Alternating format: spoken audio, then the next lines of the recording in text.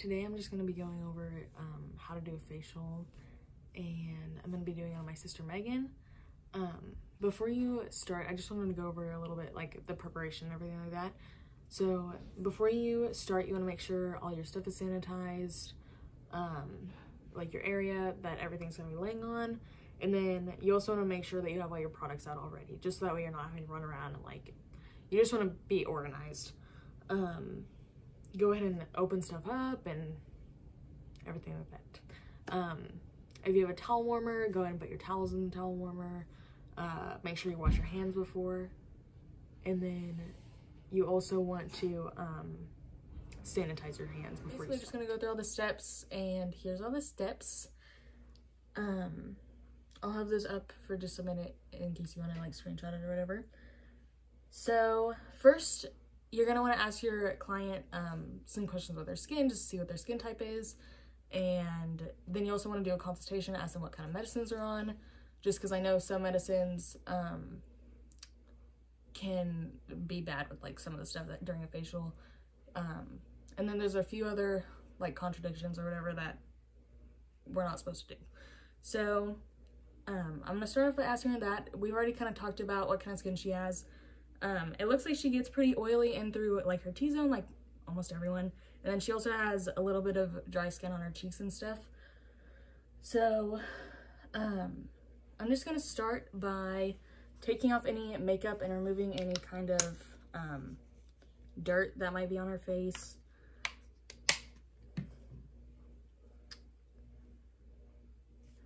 And so I'm just going to start from the bottom and you just want to work your way up. You always want to move up and out to avoid causing any um, wrinkles and stuff like that. So the first thing you're gonna do after you remove any makeup or um, any dirt or anything like that is you're gonna wanna do the first deep cleanse. So I just went ahead and put some cleanser onto cotton pads and I'm just gonna um, apply it to her whole face. Again, just working from the bottom up and out. And then if you need a little bit more,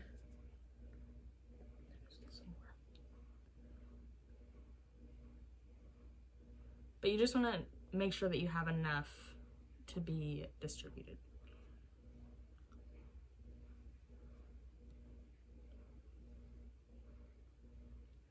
Okay, so now that we have got enough on there and everything, I'm just going to take this brush and whenever you use an electric brush like this, you want to make sure you put it on the face first and then um, turn it on because if you don't, you can get stuff everywhere. So again, I'm just going to work from the bottom up.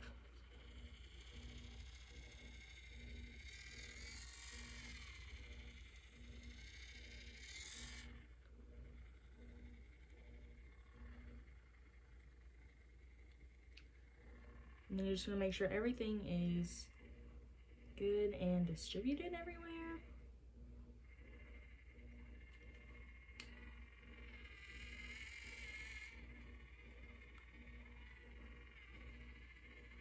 And then you also want to make sure you're avoiding the eye area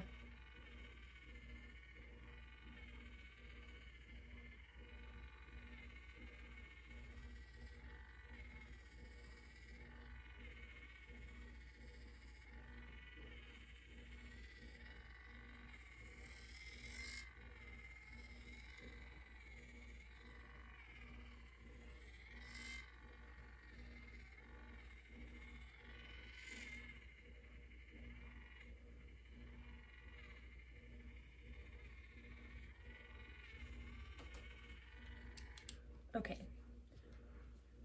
So now that you've gotten done with that, I'm just going to take this towel and remove everything. So whenever you use the towel and stuff like this, you want to take it by both corners like this, and then you want to put this right below her mouth, and then hold it there, and wrap up, and then wrap the other side up, making sure you leave her nose out and stuff, so that way you're not um, making it to where she can't breathe. And then you just want to make sure all of the product is off. Um, after you do that first deep cleanse, you're just going to do the exact same thing again, just to make sure the skin is very clean for all the steps after that. So now that we've completed that second cleanse, I'm just going to take um, some cotton pads and a little bit of toner. Now, this toner, it's alcohol free and it's um, not gonna like completely strip her skin. So that's, that's why I'm using this one.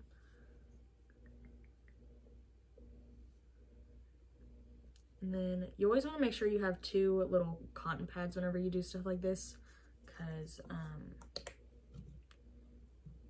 you want to make sure you can use both hands and everything. So again, I'm just going to start from the bottom up. Just work my way up and out.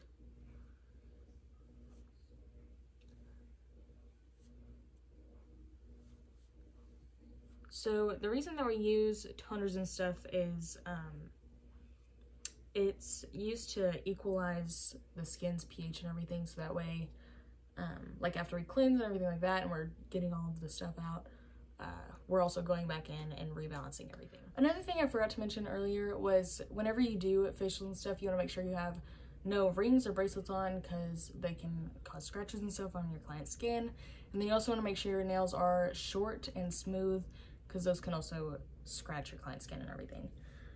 So now after we apply the toner and everything like that, this would be the part where I usually use the steamer on her face just to open up all her pores and then you would want to exfoliate after that. Um, I'm going to use a, a mask that has an exfoliator in it in a little bit, but now we're just going to move on to the massage. So I'm just going to get a little bit of lotion on my hands and we're gonna start by just applying this lotion all over her face. Just making sure we have a nice even layer.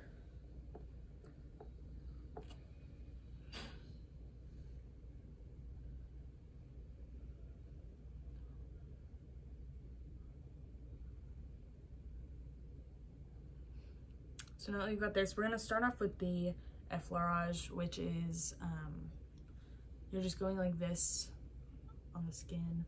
And you just wanna make it, um, you wanna go from the chin up the jawbone, and then you wanna go from the corner, corner of the mouth up to the earlobes.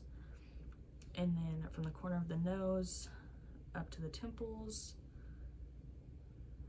And then you wanna go bottom of the um, forehead and then top of the forehead. And then you want to do this three times. So we're starting from the chin up the jawbone, going from the corner of the mouth up to the earlobes, corner of the nose up to the temples, and then bottom of the forehead and top of the forehead.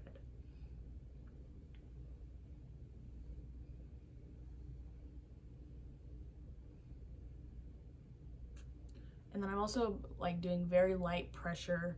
Um, you don't want to put too much pressure or anything because that can be a little bit uncomfortable. And then the next thing you're gonna wanna do is petrissage. And then, so what you're gonna do for that is you want to go in the same areas. Um, and we're, we're kind of doing this with our hands and just kind of pinching the skin a little bit, not aggressive or anything like that. And then you just wanna go in the same movements.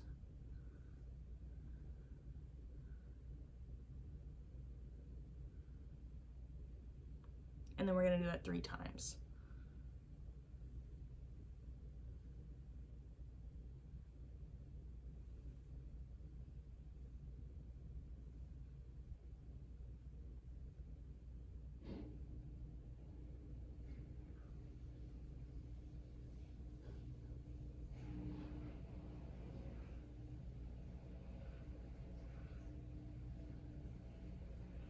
And then again, I'm also just avoiding um, her eye area just so that we don't get anything in her eyes.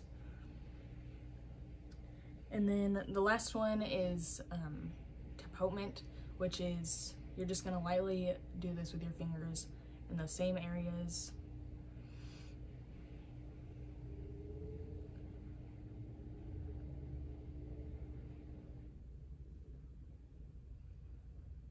And then I'm still just being very light. Um, again, you don't want to put too much pressure.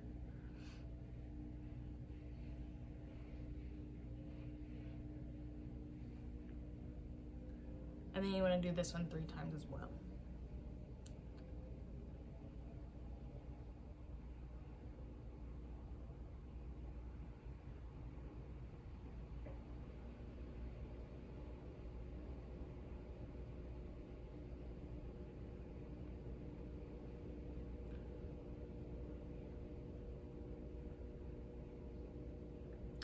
And then after all of the facial movements, you always want to end again with Effleurage just to um, smooth everything out again and just make sure everything is um, rubbed in.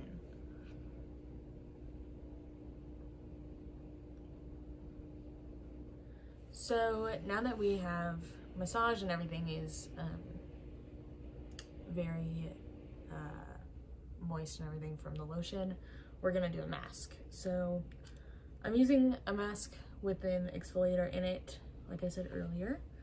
And you just wanna use like a little spatula or whatever. And again, you just wanna apply from the bottom up. And just make sure that you have an even layer on everything.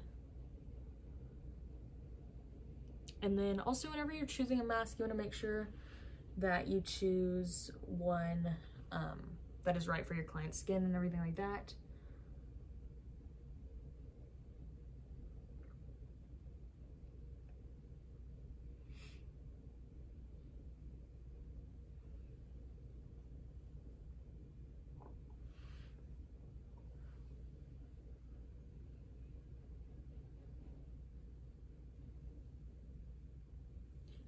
You want to make sure you're avoiding her mouth and um, just around her eyes and stuff.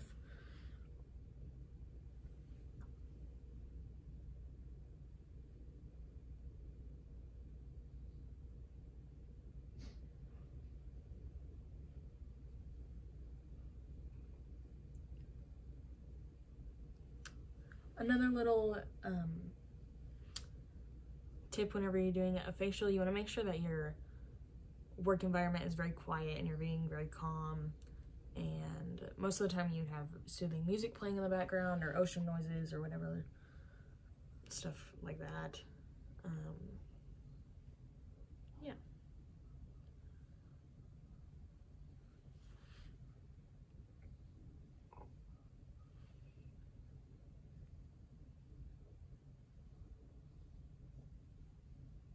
So now that we've applied the mask, we're just gonna let this um, dry and then um, once it's dry, you just wanna remove it with a warm towel.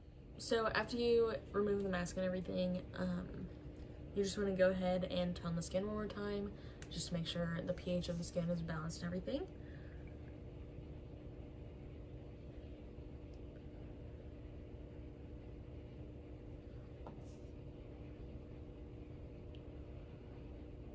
So still just working from the bottom up and then from the uh, middle of the face out.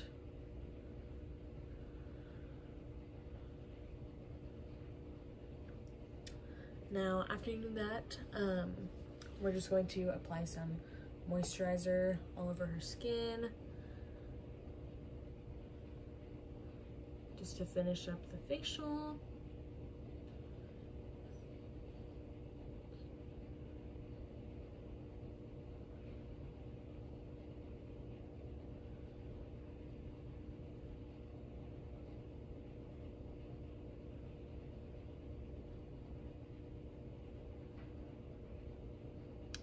and then you're finished.